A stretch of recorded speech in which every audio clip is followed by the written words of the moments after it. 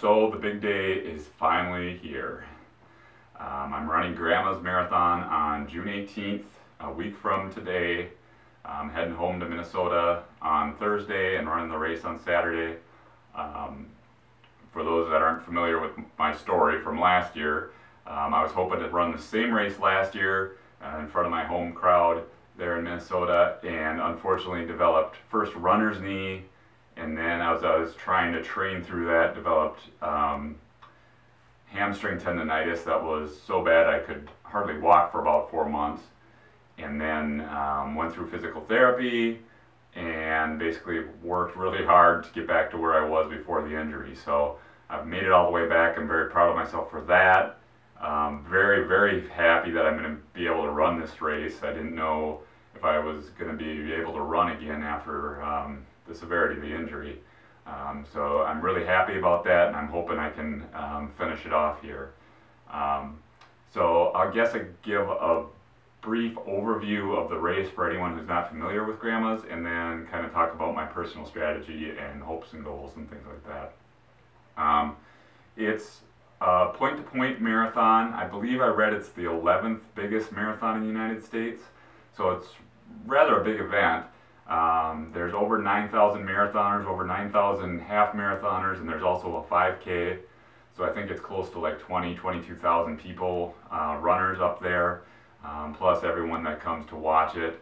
Um, so it's kind of a zoo. I was up there last year, even though I was injured, I went up there anyway and watched it, which I'm hoping will pay off a little bit because I'm a little familiar, at least with the course and things like that. I walked part of it and also um, watched it, you know.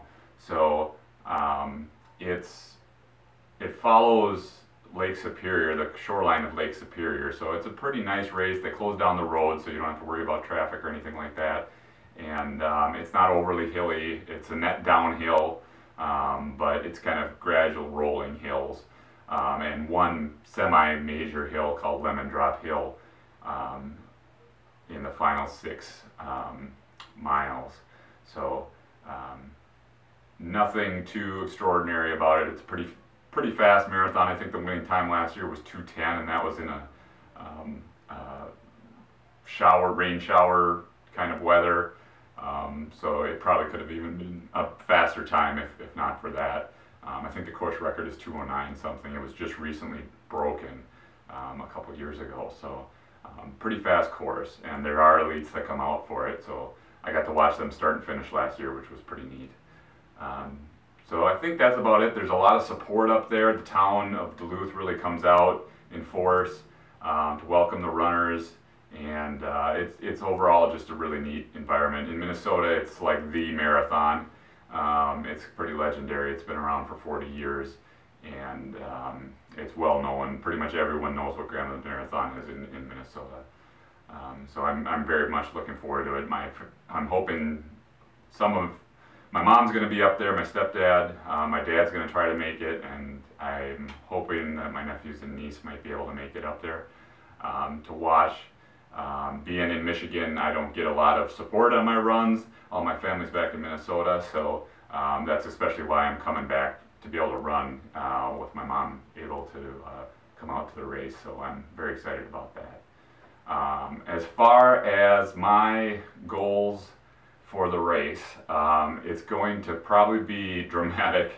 Um, my 25k time that I ran in Grand Rapids basically translates, uh, extrapolates out to being right on the line for BQ time. Um, so I could either make it or miss it by just a hair, um, depending on a lot of X factors, the weather, you know, how I feel, um, if I trip or, you know, any stupid thing. Um, so it's going to be excruciatingly close. I plan to go for it to pace myself to make that.